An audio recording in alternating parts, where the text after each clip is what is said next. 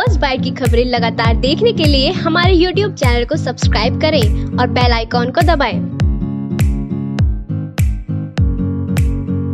इस खबर के प्रायोजक है KMC health city and KMC cancer institute, उत्तरी भारत का आधुनिकतम सुविधाओं से युक्त चिकित्सा संस्थान, Baghpat road, Meerut social media पर यह स्लोगन आपने खूब सुना होगा कि इन दिनों अपना ख्याल रखिएगा, क्योंकि अपने परिवार के लिए आप दुनिया हैं और सरकार के लिए सिर्फ़ एक आंकड़ा भर। मैं हूँ रवि शर्मा और आप देख रहे हैं फ़र्स्ट बाय डॉट टीवी। बात अगर कोरोना संक्रमण की की जाए तो मेरठ ने यूपी के बाकी सभी जिलों को पीछे छोड़ दिया है। जहाँ तक सवाल, रोज़ाना कोरोना से मरने वालों की संख्या का है तो सीएमओ ऑफ़िस रोज़ाना कुछ और बता रहा है, शासन कुछ और और सूरज कुंड, जहाँ लोगों को अंतिम संस्कार के लिए ले जाया जाता है, वह कुछ और।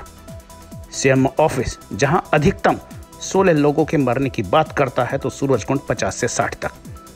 आसपास के लोगों का बुरा हाल है। राख व गंध दीवारों को पार कर उनके घर के भीतरी कक्ष तक दस्तक दे रही है। डराने वाली दस्तक। फ़र्स्ट पार्ट सहयोगी ने आज श्री गंगा मोटर कमेटी के महामंत्री दिनेश चंद से मुलाकात कर वास्तविकता के पीछे झांकने की कोशिश की। आइए देखते हैं। महामारी से पहले एवरेज औसत जो है 11-12 शवों का दाह संस्कार यहाँ होता था और हमारे यहाँ 40 शेड थे। प्रतिदिन 20-22 का दाह संस्कार हो सकता था।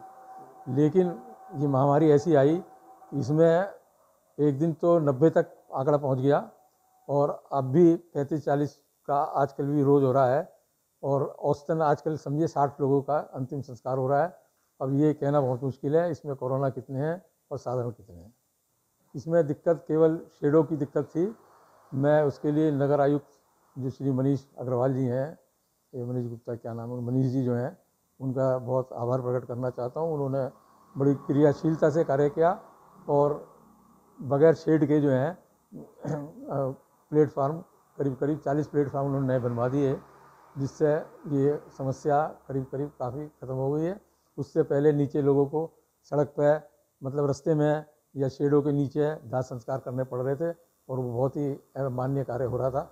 मगर बहुत मजबूरी थी, इसलिए मजबूर थे।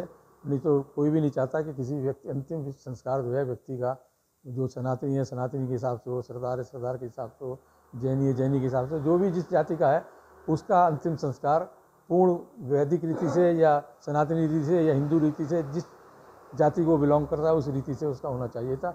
नहीं तो ये बड़ा घर के लोगों को भी और समाज के लोगों को भी बहुत इससे भयावह स्थिति हुई और बहुत लोगों को इसका दर्द हुआ। और बहुत असीम पीड़ा लोगों को इस बात से। मगर क्योंकि ये पता नहीं था कि इतना ज़्यादा भयंकर इस तरह की महामारी होने वाली है और इसके लिए कोई तैयारी तो थी नहीं।